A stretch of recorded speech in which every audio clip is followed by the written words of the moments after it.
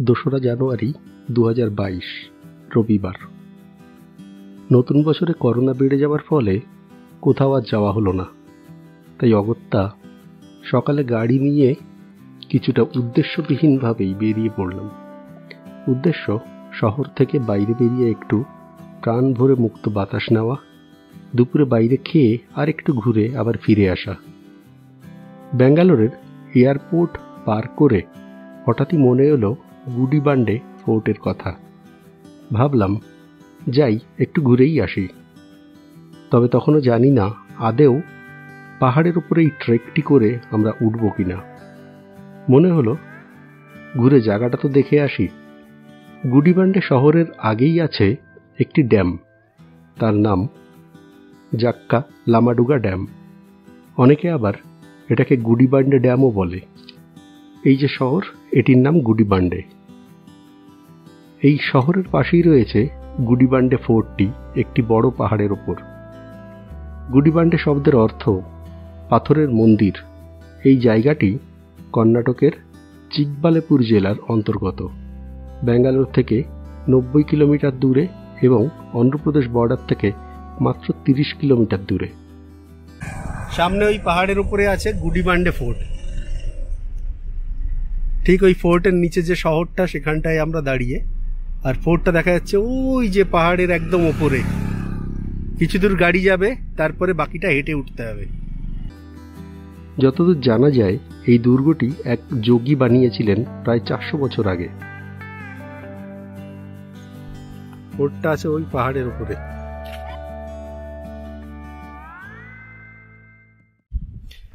একটু বেশি আয়ের জন্যে। পুরো এক কাঁধি নারকেল কাঁধে করে এই সিঁড়ি ভেঙে উপরে নিয়ে যাচ্ছে। কিছু দূর উঠে এসেছি, তবে খুব বেশি কষ্ট না। প্রথম দিকে একটু কষ্ট হয়। এই দুর্গ মোট সাতটি পর্যায়ে বিভক্ত এবং এই প্রত্যেকটি জায়গা আলাদা আলাদা গেট দিয়ে ভাগ করা, যার প্রতিটির পাশে আছে আপৎকালীন পরিস্থিতিতে সৈন্যদের পালিয়ে যাওয়ার মতো ব্যবস্থা। তবে এই দুর্গের মূল বৈশিষ্ট্য হল, এখানে মোট উনিশটি পাথরের ছোট ছোট পুকুর আছে, যা বৃষ্টির জল জমিয়ে রাখতে পারে। এই উনিশটি পুকুর ছিল আবার বিভিন্ন উচ্চতায় এবং একটি আরেকটির সঙ্গে যুক্ত। এই পুকুরগুলিতে সব মিলে প্রায় তিন লক্ষ লিটার জল ধরে রাখা যায়। নিচের ওই যে শহরটি, ওটি হল গুডিমান্ডে শহর। এখানে প্রায় ন হাজার মানুষের বসবাস। আশ্চর্য হলেও, এই শহরে স্ত্রী এবং পুরুষের ভাগ প্রায় সমান সমান, অর্থাৎ ফিফটি ফিফটি। এই ফোর্টের যখন উপরে উঠতে হবে, মোট সাতটা রেস্টের জায়গা আছে। কিছুক্ষণ সেখানটা রেস্ট নিয়ে নিয়ে উঠলে আর কষ্ট একটু কম হবে।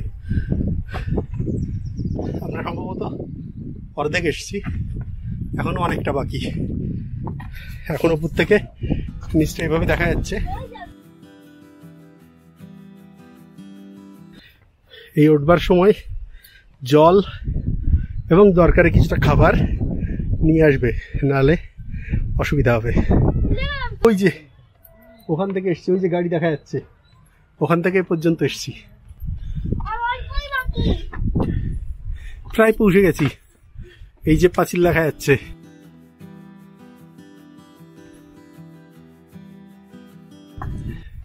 কাকে প্রণাম করছিস? এই আমরা প্রথম স্টেপে আসলাম, আরও ছটা স্টেপ বাকি। তবে পরেরগুলো বোধহয় একটু কম। অনেকটা দূর এসে গেছি। কষ্ট হলেও যতটুকু ওপরে এসছি, আসার পরে হাওয়াটা বেশ ঠান্ডা লাগছে। আর এখানটায় সিঁড়িটা খুব একটা সুবিধার না। সিঁড়িগুলো ঠিক এভাবে হয়ে গেছে। মাঝে কিছুটা সিঁড়ি ছিল না। পায়ের দিক তাকিয়ে খুব সাবধানে।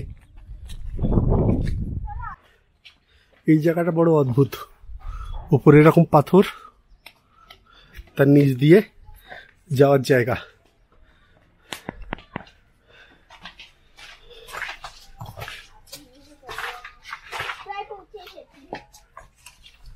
হাইট বেশি না।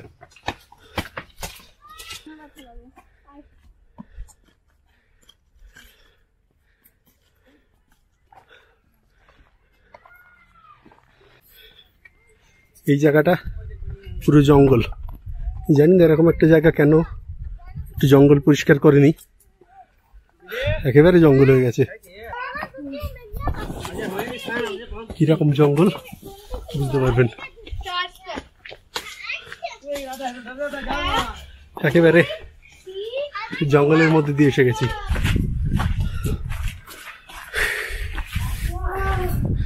দুর্গে প্রবেশ। আস্তে আস্তে।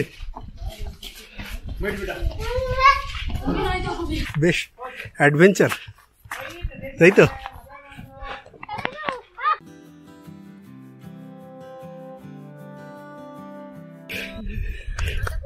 কষ্ট হচ্ছে? কষ্ট হচ্ছে কিন্তু ঠান্ডা হওয়াটার জন্য ভালো লাগছে। আমার তো এখনও কষ্টই হয়নি। তাই? ওপরে আছে শ্রী রামেশ্বরা টেম্পল। কথিত আছে শ্রী রামচন্দ্র যখন লঙ্কা বিজয়ে যাচ্ছিলেন তখন এখানটায় উনি পুজো দিয়েছিলেন। জায়গাটি ঠিক এই ওপরে। ওই যে ওপরে পাহাড়ের ওপরে যে মাথাটা দেখা যাচ্ছে একটা ইলেকট্রিক পোস্ট আছে, ওর পাশেই আছে মন্দিরটা। এই তো ব্রেভ গার্ল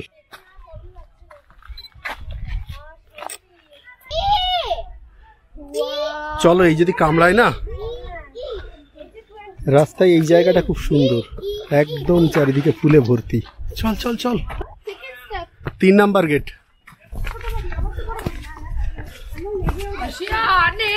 খুবই জঙ্গল। একদম জঙ্গল।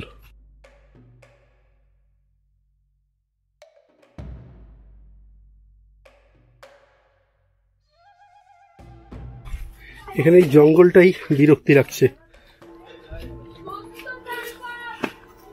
একদম জঙ্গলের ভেতর দিয়ে যাওয়া।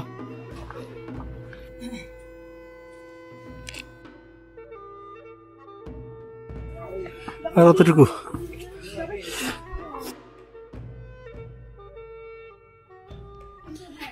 ঠিক এরকমই দুটো জায়গার মধ্যে, দুটো পাথরের ভেতর দিয়ে যাওয়ার মতো অনেকগুলো জায়গা। এই জায়গাগুলি হলো এক একটি গেট। এরকম মোট সাতটা গেট আছে, আর এগুলো তৈরি যাতে এখান থেকে দরকারের সময় খুব অসুবিধায় পড়লে সেনারা পালিয়ে যেতে পারে। এইটা হলো স্কেপের জায়গা। এখান থেকে সেনারা পালিয়ে যেতে পারতো আর মেইন গেটটা এই সামনে। একদম পুরো জঙ্গলের ভেতর দিয়ে। এই হলো মেইন গেট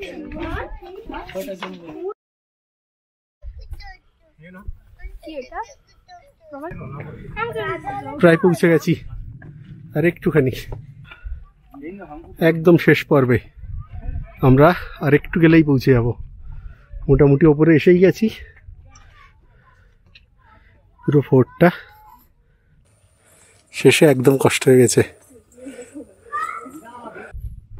শেষের শেষের সিঁড়িগুলো খুব খাড়াই।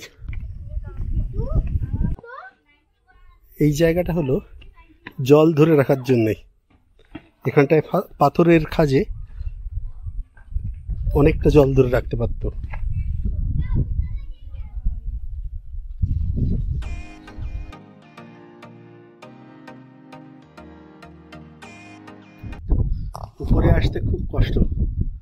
একেবারে শেষে পুরো দম যেন আর কিছুতেই পারা যায় না। খুব কষ্ট হয়ে যায়। কিন্তু উপরে এসে ঠান্ডা হাওয়া। আমাদের মধ্যে এ সবার আগে এসেছে মিঠি। সবার আগে মিঠি উঠেছে। আমি হলো ফার্স্ট সবাই হলো লাস্ট আমার গায়ে এনার্জি আছে, সবার গায়ের এনার্জি নেই, সবাই লেজি আমি স্ট্রং এই মন্দিরটির নাম শ্রী রামেশ্বরা টেম্পল। এটি একটি শিব মন্দির। মন্দিরটি এখন বন্ধ।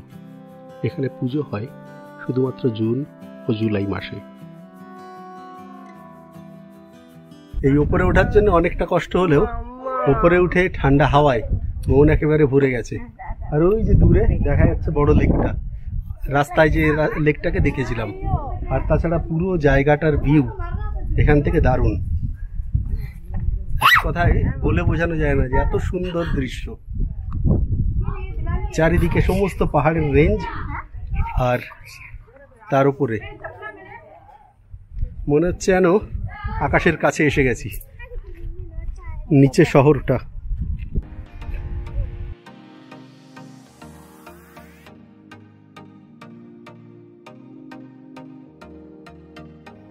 সবচেয়ে খাড়াই হলো এই জায়গাটুকু।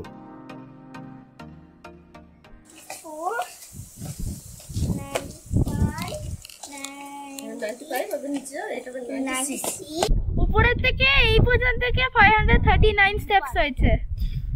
ওই যে উপরে ওখান থেকে এই পর্যন্ত পাঁচশো উনচল্লিশটা স্টেপ হয়েছে সিঁড়ি হয়েছে।